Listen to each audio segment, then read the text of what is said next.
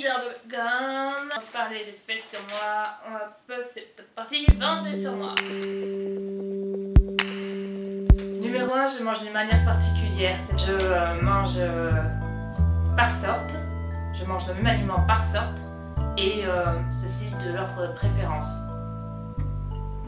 Histoire de profiter des goûts gastronomiques 10 fois plus. Deuxièmement, je peux dormir dans des endroits même très étroits et me sentir complètement à l'aise. Donc on m'a déjà retrouvé euh, couché en boule sur un siège d'autocar et je dormais comme un bébé.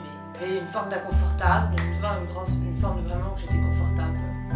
Je trouve ça vraiment confortable. Troisièmement, j'ai écrit deux romans et je vous invite à les lire sur Skyrock, euh, mon ancien blog euh, que euh, j'ai écrit. C'est un blog que je gérais avant de venir sur YouTube et de partager en même temps des réseaux sur Twitter, sur Facebook, Musical.ly, Instagram. Et même euh, avant d'aller sur DeviantArt, j'allais sur quoi? Skyrock. Skyrock, ça vous rappelle des souvenirs? Avec des articles, partager des images, des vidéos, des photos. Écrire des commentaires, bien sûr, euh, il y avait des fans qui followaient. C'était en même temps le nom de la radio de rap euh, française. Là à l'époque j'utilisais Skyrock, on avait 14 et 15 ans, et 16 ans. J'ai euh, fait preuve euh, de beaucoup d'imagination parce que j'ai euh, écrit deux romans qui parlent de l'univers de Walibi. Walibi, ce kangourou que vous avez peut-être déjà vu quand vous étiez allé au parc. hein. Euh, Malgré les, moqueries des gens, certains disent Ouais, mais femme, tu as l'air pas, tu as l'air Miami, mais c'est quoi, c'est ridicule. Je dis bien. Il y a des gens qui aimaient bien aussi, ils trouvaient ça vraiment très émouvant. Alors je vous préviens, ce sont tous les deux des drames psychologiques, mais aussi de la science-fiction fantasy. Pourquoi drame psychologique Le premier, en résumé, il parle d'adolescents qui euh, se font persécuter par des, euh, des adolescents qui se font persécuter par des euh, policiers, des forces de l'ordre et le gouvernement. Ils pour, survivre pour leur peau en vivant cachés alors que tous les adultes ont disparu. Deuxièmement, le deuxième, il parle d'un personnage, Az. Et bah lui, euh, euh, dans cette histoire, son père l'a battu quand il avait 5 ans. Et euh, comme il a failli le tuer, il a dû aller en prison. On l'a emmené de force en prison. À 14 ans, Az fugue de chez lui et veut retrouver son père. Et il va rencontrer une, une autre protagoniste que vous allez peut-être reconnaître, qui va vous sembler assez familière au cours de l'histoire et qui devra avancer sur sa route pour trouver son père. Bonne lecture, je vous invite à lire.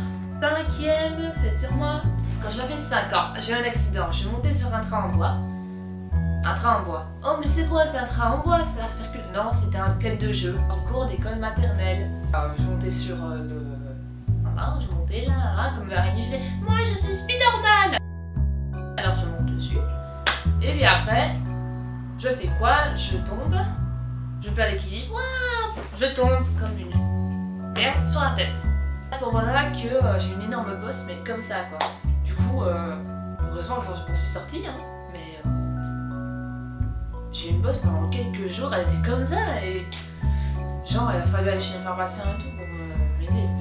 J'ai pleuré comme une ouf, ça faisait trop mal. 6, Et des yeux. Donc précisément des muscles oculaires, des muscles qui permettent de bouger les yeux comme ça, comme ça, comme ça. Vous voyez. Des muscles qui ne fonctionnaient pas très bien parce qu'à l'époque je suis née, je louchais. J'ai fait une opération à l'âge de 20 mois sous anesthésie générale au fait qu'on m'a recousu. On a renforcé la, solidité de mes muscles oculaires en les recousant avec euh, des éléments tels du du fil, de, de- des fils du point de suture. Vraiment très élaboré. hein. Et maintenant, c'est pour ça que j'ai eu des peurs parfois que je perde mes yeux en plein dans le. Exemple, j'étais à Aqualibi, dans le rapido, un super toboggan. Ouais, maman, j'ai peur de perdre mes yeux. Tu les as vus peut-être? Tu les as vus Tu sautes en ouf. J'ai eu peur de ça, mais j'ai eu peur de ouf, mais heureusement, c'est jamais arrivé. J'ai par une araignée à l'âge de 6 ans. Alors j'étais dans un train euh, pour, de scout. euh, les scouts, les nutons, les nutons c'est les scouts, euh, les petits scouts hein, de 5 habitants de commune de Saint-Lambert. Dans un train, je reviens d'accord, là là là, on dit oh une araignée, moi, c'est où c'est, où c'est Et après, ah, je me suis fait mordre à la paupière par une araignée. La paupière tellement gonflée que Je ne pouvais plus ouvrir ça, cet œil-là, je sais plus lequel, il y avait un des yeux, je ne pouvais plus ouvrir. Je suis allée aux urgences à l'hôpital parce que euh, on a eu peur que euh, je devienne aveugle ou quoi, hein, problème. Mais non, j'ai rien, je m'en sors indemne. Numéro 8. Je vais parler de cette bêtise euh, que j'ai faite quand j'avais 3 ans. On revenait de l'école, c'était la première fois que je venais de l'école à la rentrée et j'en avais marre. Du coup, j'étais énervée. Et quand on est énervé, on fait des conneries. Enfin, on est petit, on est énervé, on n'est pas très mature, on fait des conneries. On la porte. Je me suis pris la porte dans le. J'ai mis la porte. J'ai mis la main dans l'autre porte, j'ai pris la porte. Comme ça. Alors on dit, oh, a perdu son bras. Non, mais en fait, il y a mon doigt. Il y a mon doigt qui s'est détaché. Je me suis coupé le doigt et il pendait. Et c'est à cause de ça qu'on a dû le recoudre. J'ai failli être paralysée de ce doigt-là. Ouais, quand j'étais petite aussi, je détestais la couleur rose. Maintenant, je m'habille en rose, je dois faire euh, vraiment. Si je voyais le mois du passé, je crois qu'il me défoncerait la gueule en disant Oh non Pas du rose, non Parce qu'à l'époque, j'étais un gosse de 5 ans. Je n'aimais pas la couleur rose parce que je trouvais ça sexiste. Je savais pas que je ne connaissais pas le mot sexiste, mais je disais ah, c'est stéréotypé, les filles ne veulent pas porter du rose, les filles veulent porter du bleu parce que le rose c'est vraiment les mettre dans une catégorie. Quand tu penses déjà des choses comme ça, mais que t'es trop petit, t'es trop. T'as pas cette expérience, bah tu sais pas parler des grands thèmes, on prend ça pour un caprice.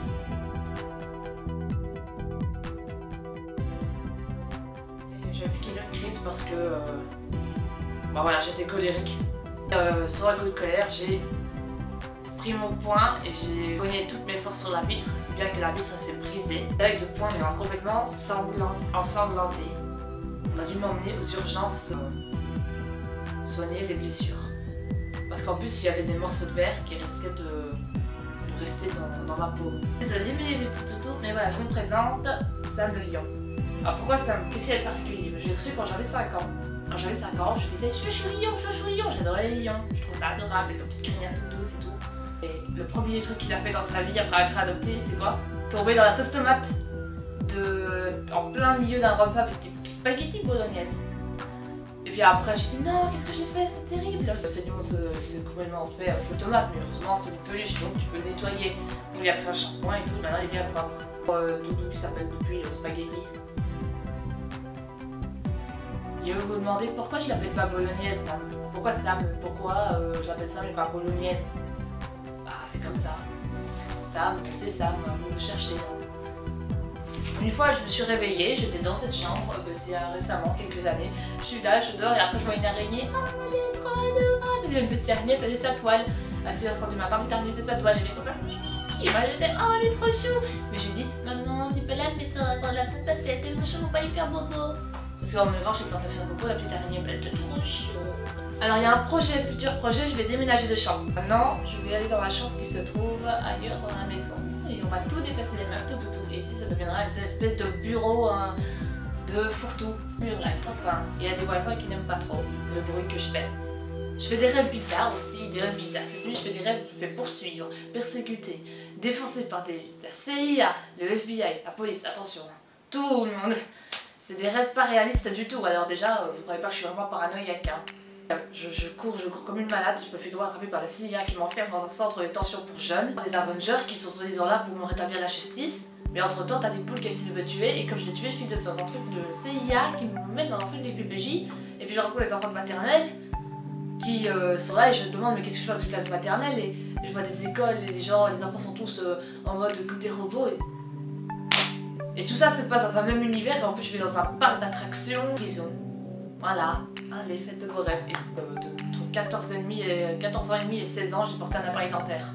Et même une fois que cet appareil dentaire, j'ai mis des couleurs différentes dessus. Ça veut dire toutes les couleurs de l'arc-en-ciel, du rouge, du jaune, du orange, du vert, du bleu, du violet, tout, tout comme ça.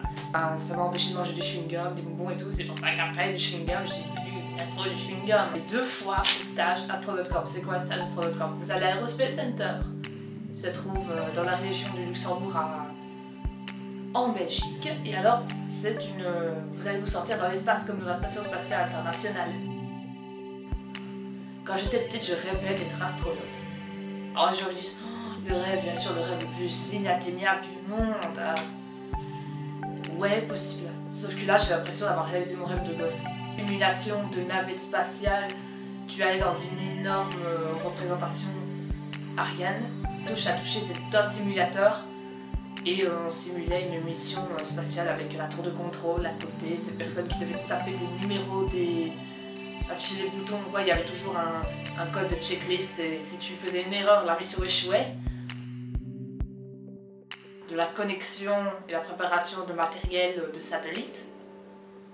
On a regardé un film sur Apollo 13, le simulateur euh, de marche lunaire, donc tu es assis sur un siège qui te permet de graviter, mais tu sens plus sur Terre, mais sur la gravité comme sur la Lune. Et euh, la chaise multi-axe. Une chaise multi-axe, euh, tu es pour te sentir euh, sans repère. Euh. la chaise multi-axe, c'était bien dans tous les sens et en ce même moment, tu dois essayer de, faire des, de résoudre des calculs alors que tu as la chaise et que tu es sens, tu vas résoudre des calculs avec une calculatrice. Merci à Vacances Land d'avoir organisé ce stage. Mon signe astrologique, comme je suis le 28 décembre, c'est le Capricorne. Et je crois pas trop à l'astrologie. L'astrologie pour moi, vous arrivez, c'est l'avenir, c'est l'avenir. Non, c'est pas mon truc à moi. Moi aussi, j'ai comme signe astrologique chinois le tigre de feu. Être tigresse. Donc, je peux me repérer dans le noir, à condition que je connaisse euh, l'espace euh, où je suis. C'est une pièce inconnue, là, je vais prendre les murs.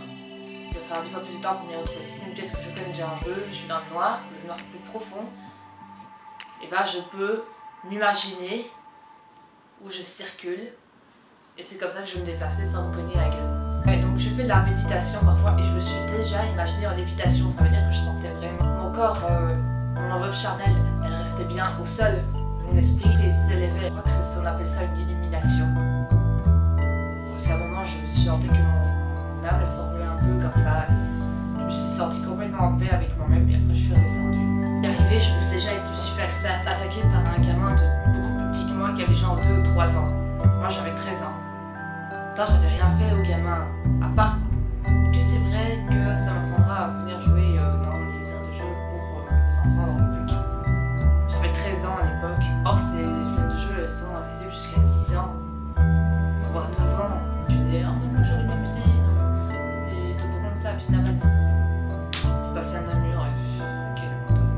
personne qui me, défendait de ça parce que ça c'est de ma faute.